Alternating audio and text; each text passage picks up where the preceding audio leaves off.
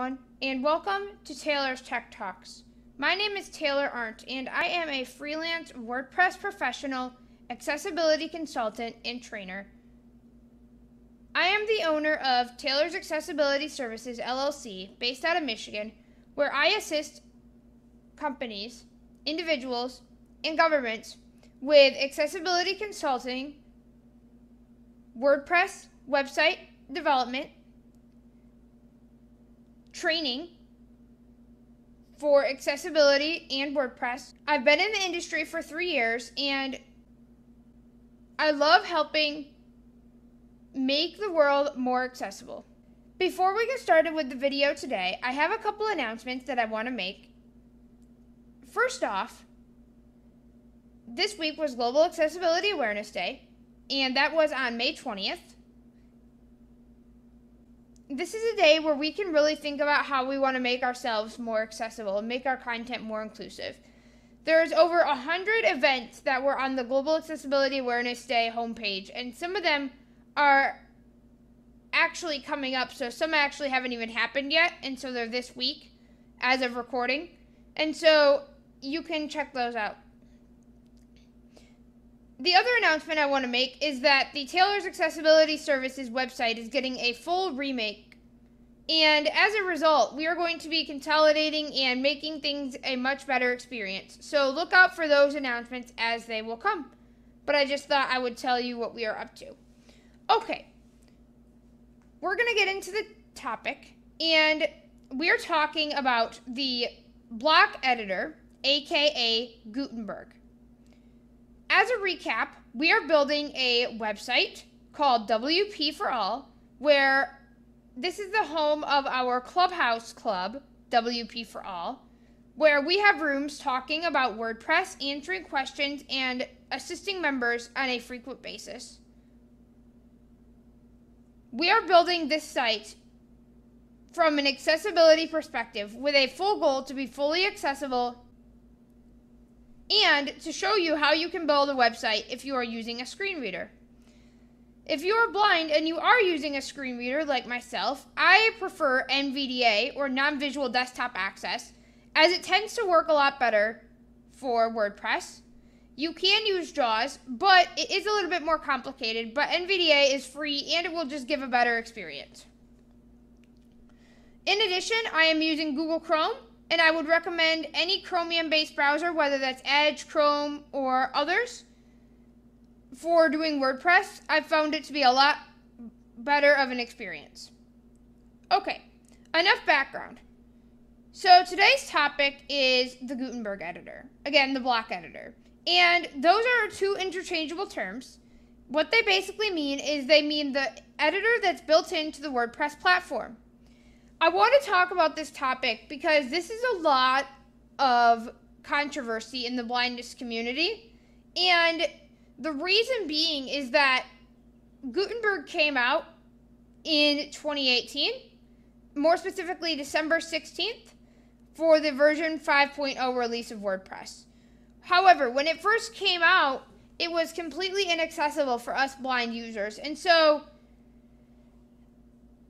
we were a little bit reluctant, obviously, to try to use it for our sites because it wasn't accessible. And we still are reluctant in some instances to use it for our sites today.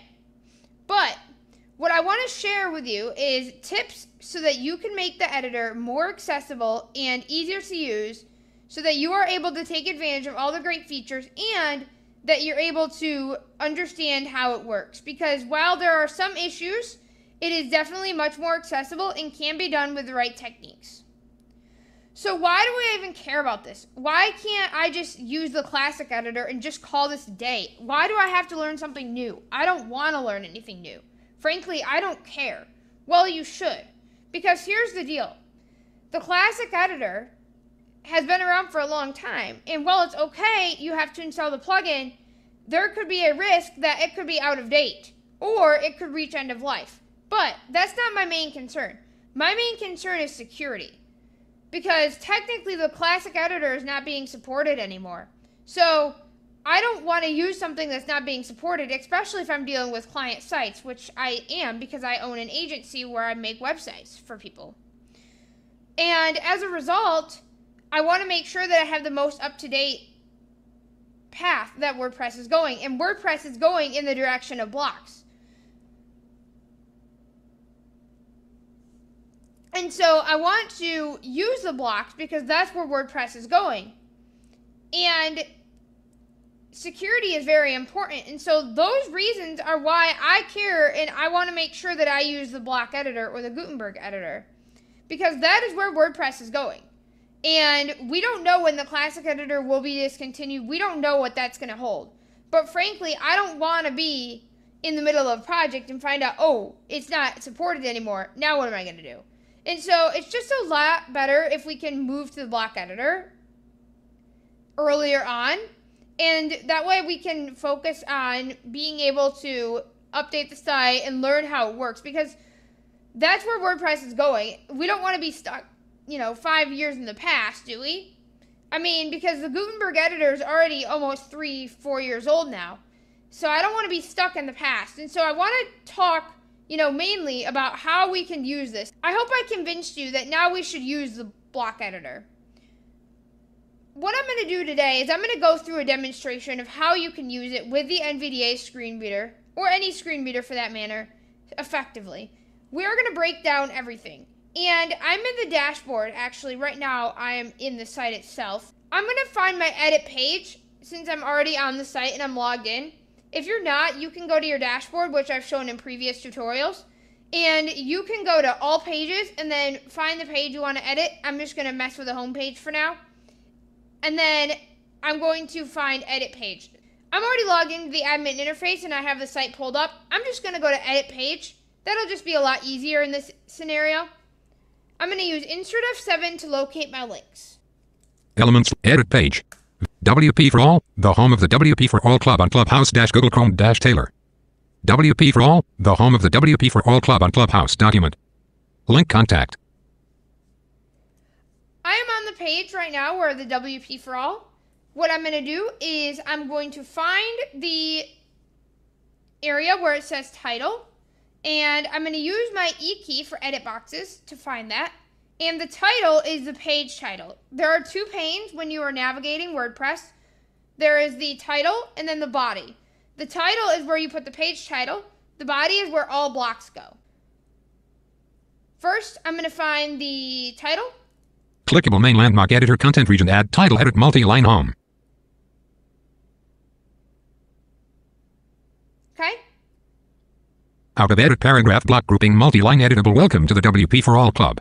This is home of the WP for All Club on Clubhouse. What you could do is you could press down arrow, and if you press down arrow from the title, you're going to be in something called navigation mode. In WordPress, we have two modes. We have navigation, we have editing. Navigation is basically where we can navigate the blocks and we're not actually editing them. So if I press down arrow, you'll hear the next line of this paragraph and you can tell that I'm in navigation mode. And we have frequent events talking WordPress and help desk sessions for members. How can this help you? Because you could navigate to where you want to edit and then get in edit mode by pressing space. The disadvantage to that, however, is that you will be able to have to go back to the beginning, so it'll jump you back there when you try to uh, go into edit mode directly into from navigation. So what I tend to do instead is I just start in editing mode. And editing mode is the same as focus mode in NVDA. And navigation mode in WordPress is the same as browse mode in NVDA. So that makes any sense. I'm going to recap basically what I did. I'm going to escape out of here. I'm going to go control home. And I'm going to repeat this again so we can get the process down pat. I'm going to press E for edit fields to locate the title. Clickable editor content region add title edit multi-line home. I'm going to press down arrow. Out of edit paragraph block grouping multi-line editable welcome to the spelling error WP for all club. Space. There is how I get into edit mode. So, now I'm in edit mode. That's great. Let's say that I want to add a paragraph before the paragraph on the page. How would I do that? Well, I would start from the very beginning of the paragraph. I would go home to go to the top of the line, to the beginning of the line. And then I heard W. So W happened to be the previous word of the welcome to WP for all. I'm going to press enter. Paragraph block grouping multi-line editable. Welcome to the WP for All Club. This is home of the WP for All Club on Clubhouse. I'm gonna press up arrow. Empty block. Start writing or type forward slash to choose a block grouping multi-line editable blank. So what did that do? It created an empty block above the block that I just inserted. All right. And up and down arrow moves between the different blocks if you haven't been able to catch that already. So up and down arrow will move you between the different blocks in the editor. I'm going to type a simple test. So I'm going to say this Paragraph. is a test from Taylor. And I'm showing you how I would make a block. In that you don't want to put all of your content directly from your head into the WordPress editor. You want to put it in Word first to, for one, spell check it. For two, you can use the markdown, the Writage thing that we talked about last week to put it in these blocks. But this, what I'm showing you, is a good way if you need to edit content or you want to change something. But never, ever, ever write the content outright in the WordPress editor. I don't recommend it. I added my block, and what I'm going to do is I'm going to go up arrow. This is a test from Taylor. Add title edit multi-line home. This is a test from Taylor. So it read, this is a test from Taylor, and then it read home. So I'm in the title pane. I'm going to go down arrow again, and I'm still in edit mode. I'm still in edit mode because it, if I wasn't, I would hear the other noise, right? If I'm in NVDA, I'll still be in edit mode. So just as a note there, I'm still in edit mode until I get out of edit mode by pressing escape. Paragraph block grouping multi-line editable blank. You hear that blank, and this is a bug that we need to fix in Gutenberg or the block editor. But basically, what happened is it read the paragraph block. And how I know that, if I press Control left arrow, Dot. Taylor. it says this is a test from Taylor, but it kind of read it as if it was at the blank line. So it should automatically always read that paragraph block. There are weird accessibility bugs like that. That's just a little bit of a PSA. All right. So we understand moving between blocks. We understand how to do that. But how do I add a block? You kind of already know, but let's go over it again. I'm going to go to the very end of this block by pressing E, or excuse me, end. Blank. Empty block. Start writing or type forward slash to choose a block grouping multi-line editable. I press enter, and that is where, if I press enter, I get a new block. But how do I change the type of my block? Great question, right? Because we don't want just paragraphs all the time, do we? I mean, that wouldn't be ideal. Because for one thing, websites aren't just made of paragraphs, are they? No. Changing block types can be done pressing the slash key. So slash. Whoops. Head. Head. Editor content region. Paragraph block grouping multi-line editable blank. R blank. R blank. Dot. Empty block. List. Heading 1 of 9. 9 results found. Use up and down arrow keys to navigate. Nine results found. Alrighty. I have nine results and I want to find the block that I want to insert. It shows nine at a time. What you can do is if you insert and add more plugins, so plugins, recall, extend the functionality of WordPress and they add new functionality. If you add plugins, they can actually sometimes add additional blocks. So by default, nine blocks show up. Throughout the series, we will be dealing with different kinds of blocks. This is just an introduction. But what I'm going to do is I'm going to insert a heading block for the time being. Headlock. Heading 1 of 9. Editor content region. Block. Heading grouping multi-line editable. I'm going to say uh, heading H. test. Uh, what am I going to do to get a new block? Do you remember? I'm going to press enter. Enter will add a new block. Empty block. Start writing or type forward slash to choose a block grouping multi-line editable. Alrighty, let's say that I want to add a heading level 3 because remember, by default, these WordPress headings, if you haven't noticed, are heading level 2. I don't always want heading level 2s. We want to add heading level 3s or maybe we want to change some headings. Alright, we are in our editor and we are going to now add a heading level 3. First, we need to add a new block by pressing enter, which I've already done. What I'm going to do now is I'm going to locate our heading, block option, in our block list by pressing the slash key. This will allow us to change the block type because remember, a paragraph is the default block type, which is obviously something we do not want. Slash. List 9 results found. Another trick that I can do is I can actually filter by first letter navigation. So I could start typing H for heading and it will pop right up, which is actually what I just did. And I'm going to press enter now. Editor content region. Block heading grouping multi-line editable. I'm now going to type in the content that I want to type into the heading text itself. I'm just going to say H3. I'm now going to select this entire block. This is very important because if you do not do this, you will not get the block tools panel in the next step. So, very important. You're going to select it by pressing Shift plus End to select the entire line. H. H3 selected. I selected the entire content of the block. Very important because if you do not do this again, you will not understand what we're going to do next. I'm going to get out of editing mode by pressing escape. I'm going to go to the top of the page by pressing control home. Out. I'm going to now find, using my screen reader find, that'll be the easiest way to do this, change. And it's going to say change heading level, which is exactly what we want. The other thing we could do is we could change alignment, we could change fonts, and all that kind of fun stuff. But for all intents and purposes today, what I want to do is I want to change the heading level. So I'm going to type change, control, insert, F. I showed this last time. Blank. Clickable editor content region block tools toolbar change block type or style. There's actually three different changes here. Find. eh, Clickable change alignment. Find dialog. eh, Menu button collapse submenu change heading level. There we go. Change heading level toolbar. Heading 1 toggle button not pressed. I'm going to use right arrow to navigate the content of this toolbar. Heading 2 to- heading 3 toggle button not pressed. Pressed. Enter. That will immediately transform it into a heading level 3, and that'll be good. All right. I'm now going to go back into the edit mode, and we are going to do a couple more things, and then we're going to end this video. I'm going to go back into edit mode by pressing E. The next edit field. Whoops.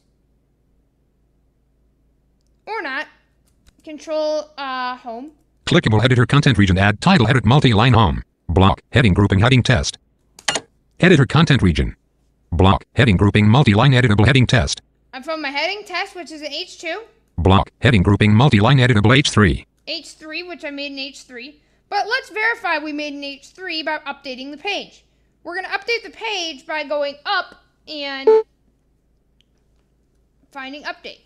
I can actually just use Shift B, which will go to previous buttons here. Dismiss this notice. Editor top bar region options menu button. Settings top update button. There was only four Updating. there. Unavailable. Or, in addition to that, you could also use your find command, but since I already knew I was pretty close, I could just do it that way. I'm going to locate New. uh, a new tab. S. Loops. L. S. L. S. WP for all. S. Mainline mark home heading level 1. Heading test heading level 2. H3 heading level 3. H3. Alrighty, we have an H3. That's what we wanted. I don't want all this nonsense on the page, do I? No. So let's get rid of it all because we don't want all this H3, H2 test stuff. Like, that's not going to make any sense. So the last thing I'm going to show you is how we can get rid of this block set. And what I'm going to do is I'm going to get rid of this by Edit page less than. going into the editor and I like to have a new tab open because I could just press alt tab and then go back to the editor rather than trying to have to go back and forth. That's just kind of a tip I always tell my students when I train them. Open up a second tab. Your life will be a million times easier. What I'm going to do is I'm going to find my edit again. Menu button. Editor content region clicker will add title edit multi-line home. Block heading grouping heading test. Editor content region. Block heading grouping multi-line editable heading test. All right, so there's two ways we can do this. If you press shift and down arrow, you will select two blocks by default, which is fine in this instance because we have two blocks we need to delete. If you're to only need to delete one at a time, what you'll do is you'll press your shift and end key, you'll delete it, the, the text, and then you will delete the heading. I'm to actually show you the second method because that might be more applicable. I'm going to press Shift and End to select the entire line. Heading test selected. Backspace. T. Unselected. Blank. Edit page less than WP for all WordPress document. And guess what? It's gone. So you press Control Shift N, End, excuse me. You do backspace, backspace. That will get rid of the block really easily. But let's practice that again. So Control Shift N, H3 selected. backspace, Three. Unselected. backspace. Edit page less than WP for all WordPress document. That's a really easy way to get rid of blocks. I'm now going to find my update and I'm going to call this a day with this uh, editing tutorial. Out. Mode. Undo. Read. Out. Switch. Pre. Update. Bu- updating. Update. On a W. H. WP. Main landmark home heading level. Welcome to the WP for All Club. This is home of the WP for All Club on Clubhouse. All right, we are back to where we started. That's a good thing. We have gotten rid of everything that we don't need, and we have learned to use the block editor for a very basic level. Now, there's a whole bunch of other things that I can tell you, but again, we will learn about that later. I hope you enjoyed today's tutorial. And if you want to stay up to date with all of Taylor's Tech Talks offerings, you may do so by going to taylorstechtalks.com. Link will be in the description. If you found this video helpful and it added value, you can feel free to support the podcast and channel by doing a few different things. For one, I have some affiliate links in the description, and these are products that I endorse that I use every day for my business or otherwise for the channel. And if you feel so inclined, you can use my link and try them out for yourself. However, I will get a financial kickback, but that will go right back into helping this channel and podcast be possible. If you would like to support by becoming a member, that is also another option. You can go to taylorstechtalks.com and become a member. We have three membership tiers at the moment. Our $1 tier, community Discord. You get access to our awesome Discord server with some crazy awesome people in there. And you get access to that for just a dollar. Our $3 tiers are honorable mention. And I want to mention a couple of our awesome members. Michael Terry is one of them. And the $5 tiers are early access or early bird. And so if you want to hear all these videos before everybody else does, because you like them so much and you want to help support, feel free to join the early bird tier and you will be able to get them after they are edited and post produced. I also have some awesome partners that I have really worked awesome with. And one of those is Penny Forward. You probably heard their podcast. I am a sponsor. And they provide financial literacy and other interviews of blind professionals who are working and successful. If you would like to listen to their podcast, I'm going to link a link in the description. But Chris Peterson, who runs it, is really awesome because what he does is he hires all blind owned businesses to help him produce this podcast. And I just think that's an awesome idea. So if you want to support his podcast, you can look in the description.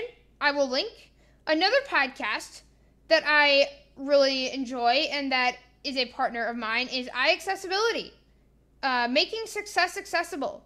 And they provide app development, web hosting, and some cool app services. And if you want to hear about them, you can go to iaccessibility.net, and I will link to them in the description as well. Alrighty. Without further ado, this has been an awesome tutorial, and I look forward to seeing you guys next week.